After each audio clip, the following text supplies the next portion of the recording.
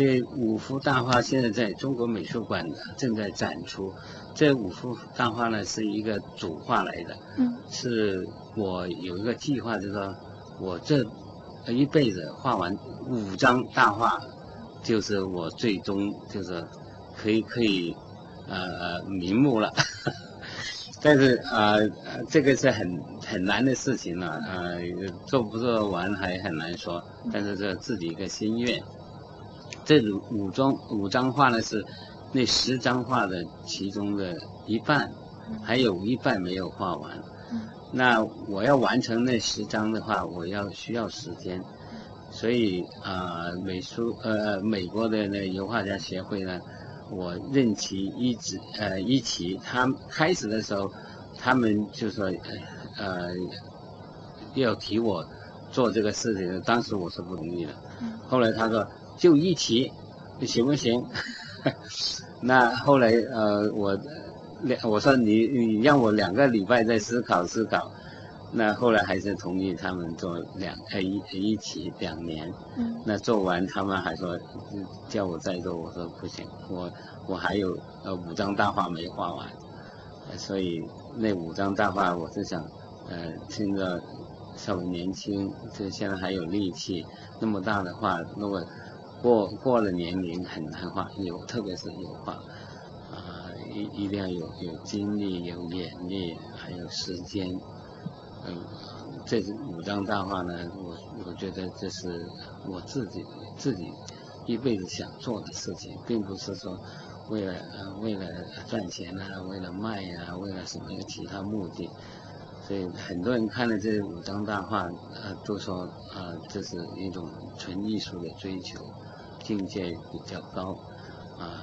给我很多鼓励啊。这五张大画。啊，有个就是虽然是画历史画，有个新的呃啊构思、新的形式、新的想法，有有一种很特别的，跟一般的历史画不一样。啊，其实我在美国，我也啊开始的时候有画过一些现代的比较啊啊现就是就一个现代构思啊、构图啊那些。但是因为美国，它在现代艺术上发展很快，嗯，也很多很，就是说很多很多，你去到那里，就是那种现代的东西，对我来讲也是很新鲜了，嗯，但是过过了一段时间，就是其实我那套主画在那边还是，呃，得到很好的反应，还得了金奖，但是我反过来在那边来看中国。啊，祖国就是啊，历史觉得我还是那个有很强的这种心想，把这个主画画出来。后来我就又又把它把精力转到这方面，就把啊历史画还技术往前推进。这是我自己的东西了，我也不是说为谁画，自己自己喜欢。画了，嗯嗯，人家说什么我也不管，反正是是，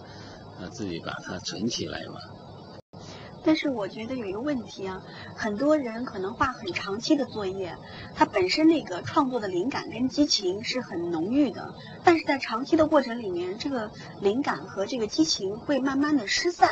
然后呢，我就觉得很奇怪的是，可能十年二十年间，你可以保住这个灵感，就是保住它的新鲜度，然后保住它的这个激情的热度，然后呈现给我们大家的时候还是最好的状态。我特别想知道，画长期作业的时候，过程之中怎么样才能够让自己在这个呃长期作业的过程之中，能够永远就把持到一些好的艺术创作中好的东西，而把那个一些比比方说时间长了磨得比较麻木啊，比较混沌。啊，不知道该取什么舍什么的这个东西给给摒弃掉，我们非常想了解一下。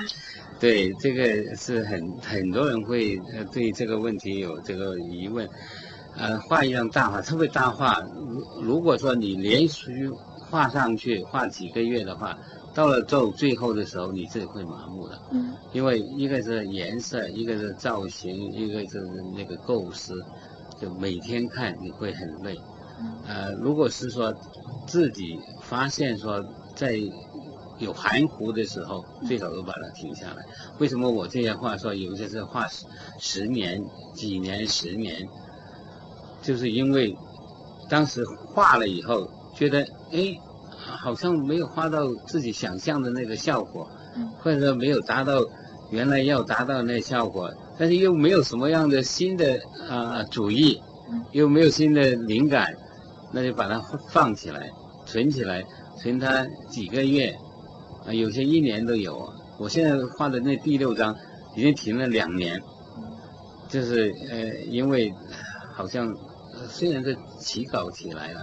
但是总总觉得没有达到预先的那效果，但是又不知道怎么样画，就把它放起来，画其他的，其他的画的画，你在呃半年、一年，你再拿出来看，那个感觉不一样。你会发现很多东西会会那灵感从里头会产生出来，这个就是很多大画，有为什么呃世界上很多呃那些大师啊那些画都列兵那个像小小的画都花十几年，那不是说他每天都画那个。